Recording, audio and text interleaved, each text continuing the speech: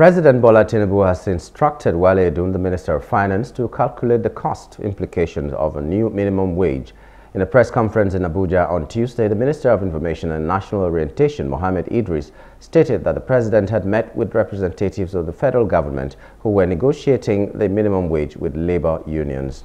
According to Idris, the meeting was attended by the Secretary to the Government of the Federation, George Akume, the Minister of Budget and National Planning, Atiku Bagudu, the Minister of State for Labor and Productivity, Nkeiruka Onyejeocha, and the Group Chief Executive Officer of the Nigerian National Petroleum Corporation NNPC Limited, Mele Kyari.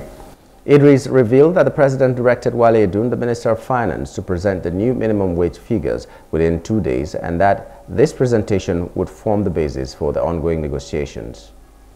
We thank Labour that they have suspended, uh, through to their awards uh, last night, they've suspended their strike uh, the early this morning.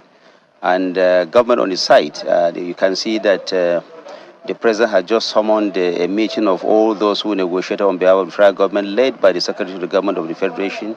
We're all there to look at those issues, and then uh, the president has directed uh, the Minister of Finance to do the numbers and get back to him uh, between today and tomorrow so that we can have some figures ready for negotiation with labor. let me say that Mr. President is determined to uh, to go with what the committee has said. Um, he's uh, also looking at the welfare of Nigerians. Like I've said earlier, government is not against, it's not an opponent of uh, uh labor discussions, it's not an opponent of uh, uh, wage increase. but what is there is that government is always desirous of ensuring that there is a balance between what government pr pronouncement is and what realities are on ground. And therefore, we'll work assiduously to ensure that whatever we do, uh, whatever promises the government uh, makes will be kept. Uh, that's the idea of this meeting. A wage award is not just that of the federal government. Like I mentioned earlier, the subnationals are involved, uh, the organized private sector is Labour that staged a step out during those proceedings. Now that we have come back to the negotiating table, all of us will work together again uh, assiduously within the next one week to ensure that we have a new uh, uh, you know, wage for Nigeria that is acceptable, that is sustainable, that is also realistic for all Nigerians. We've just uh, started, set an agenda, and then we'll come back tomorrow and then we'll start the work. Is there a figure in mind, ma'am? You know, the truth of the matter is that uh, we will improve. And whether they, there's a figure in mind, um, you will know that at the end of the day. They walked out and then we called them uh, pleaded that they come back to the negotiating table. We were expecting that everything would come to an end and then we move forward because there are a lot of things to do. We've wasted too much time on this.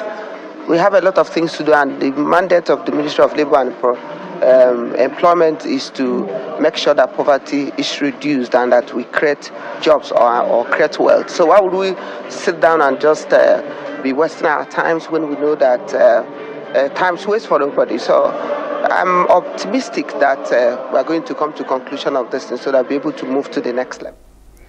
Earlier, organized labor, its indefinite strike action for one, organized labor suspended its indefinite uh, strike for one week to negotiate with the federal government on a new minimum wage.